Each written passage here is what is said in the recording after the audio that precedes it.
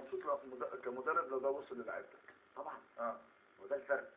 فرقة بتلعب ما تضغطش مم. وفرقة عرفت إن لما تضغط تخوف. ضغطت. خدوا جيم آه يعني حتى قبل ما يجيبوا الجول الأولاني. كانوا مغلوبين هم أيوة. وقت مبكر جدا يعمل قلق أو عدم تركيز لكن لعبوا بضغط جامد جدا خوفوا سهل عادي مم. صرف النظر بقى كل واحد خاف على رجله على نجوميته.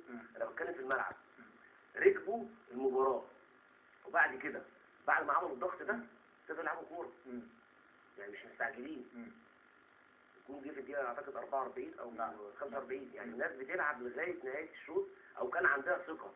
ان ال- ال- الروح اللي كانت باينة في الملعب ما كانش باينه النهارده. إن الجزائر أحسن في الروح. نعم. الروح القتالية. الإصرار إن أنا النهارده بفرض ممكن ما أكسبش لكن ما أكسبش ما أخسرش بإهانة. مم. سهل عاد كتاريخ زي ما كابتن محمد سيد بيقول الورق بيقول آه. سهل عاد مم. لكن الجزائر النهارده خلت الأمور. انقلبت بحاجه بحاجتين أيوه الضغط على الخصم. والإصرار على الفوز نعم ده اللي خلى يعني النهارده زي ما كنا متفقين المباراه ما تطلعش 3 2 تطلع 7 3 لأن آه، لعيبه الساحل الحاج بتلعب أكنهم آه، مغرورين مغرورين عايزين وقت اللي حصل في مباراتنا معاهم 4 1 يعني نفس ساعة مباراتنا ان الضغط مش طرح مش في التزام كان عندنا وفي توفيق باستغلال الفرص. النهارده كان في التزام عند المنتخب الجزائري كان في عدم توفيق باستغلال في ثقه في لعيبه الجزائر آه، مع اعتراف التام إنه ساحل العاج لا هدف صحيح 100% تم إلغائه في الثانية الأخيرة لم يصل تسلل لكنه على المجريات الشوط الثاني والوقت الإضافي الجزائر تستحق لا دلوقتي الإضافي الثالث والرابع أربع اجوال مؤكدة. أكيد آه وده العمل تمام البدني 7 3 آه العمل البدني آه تفوق فيه الجزائر مم. في الشوطين الاخرين البدني مم.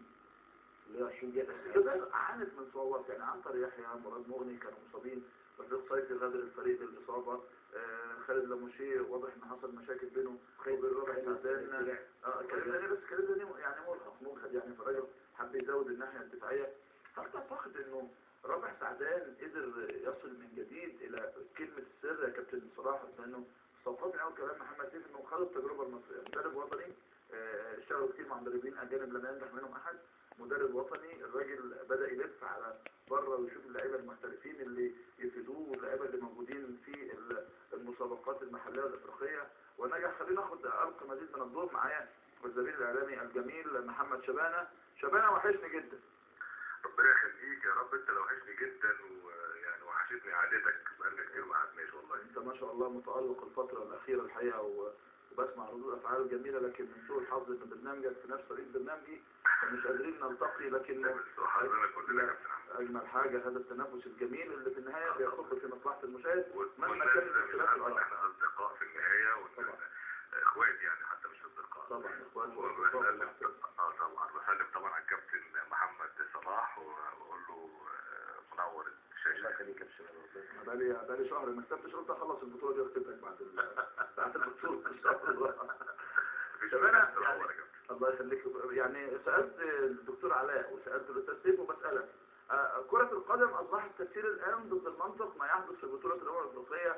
تأهل غانا تأهل آه، الجزائر بعد هذا العرض الجميل على المنتخب الإبواري. هل خلاص آه، انتهت لغة المنطق في عالم كرة القدم وعلينا أن نسلم من الآن بأن المفاجآت ستكون هي السمة الغالبة في كرة القدم؟ بالعكس يا كابتن أحمد أنا شايف إن كرة القدم عادت للمنطق في المباراتين دول اسمح لي يعني أقول لك. وجهة نظري. يعني أنا كنت امبارح الاصدقاء أو الزملاء حتى لما بيسالوني وأنا حتى كنت بتفرج في افريكا على المباراة مم. آه وأنا بقول ان غانا والجزائر أنت بتقول غانا والجزائر آه. بنيت ده على إيه؟ وطبعا الكابتن صلاح مدرب كبير وحضرتك طبعا نجم كوره كبير يعني مم. آه، غانا فريق آه، آه، كان آه، بدا البطوله بمستوى متراجع الحقيقة آه. لكن تحس إنه فريق تقيل في الملعب ويستطيع إن هو يرجع تاني. الجزائر كوت ديفوار قوة عظمى بتنتهي بتقفل بتقفل دلوقتي. مم. القوة بتاعت جيل دروجبا وجاء توريه والمجموعة اللي موجودة دي. بتقفل دلوقتي. بتختتم مشوارها اللي هو الكبير خلال فترة من 2000 ل 2010 مم. في قوة قادمة هي قوه منتخب الجزائر مم. ده قوة قادمة لما بتيجي تواجه القوة العظمى قوة قادمة أنا قلت الجزائر فريق حيوية ضخمة جدا جدا عنده روح كابتن شوبير غير طبيعية لا مش طبيعية لا مش طبيعية في الملعب الحقيقة حضرتك لو تشوف الدقيقة 120 نجيب الحاج بيعمل سبرنت آه،.